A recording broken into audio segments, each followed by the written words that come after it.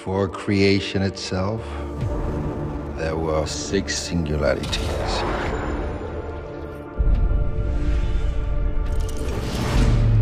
Forged into infinity stones.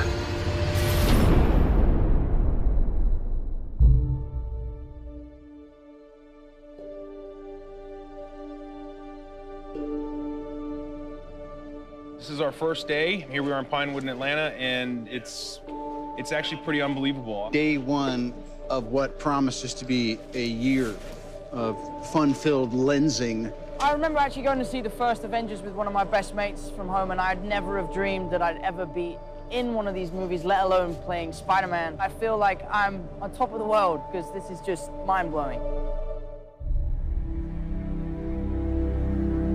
What we always try to do at Marvel Studios is we're building the cinematic universe, is look at the big picture. How can things relate across movies and across years? Avengers Infinity War is the culmination of the entire Marvel Cinematic Universe as started in May of 2008 with the release of Iron Man 1. And it really is an unprecedented culmination of a series of films interlinked together, which at the time had never been done before. And for us, the important thing is making it all come together.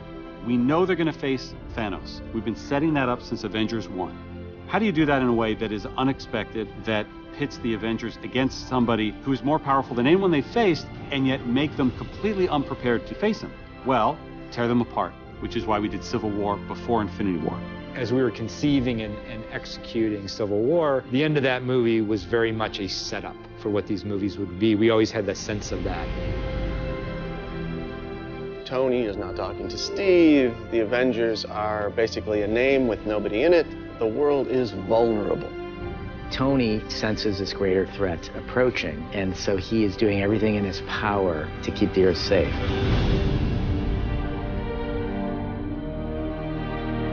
Thanos shows us why he's the biggest, the best, the baddest villain that we've ever had, and the most frightening villain that the Avengers have ever faced. The most exciting part is the incredible roster of well-developed characters, and it's going to create a really combustible, exciting, massive-scale adventure. You know that we're onto something within the studio when we hit upon an idea or we see a piece of concept art and all of us in the room go, this is cool. And in Avengers Infinity War, the Avengers will meet the Guardians of the Galaxy. Because of what Marvel is, because of what they have done over the last 10 years, these next two Avengers films will be an event like no one has ever seen on film before.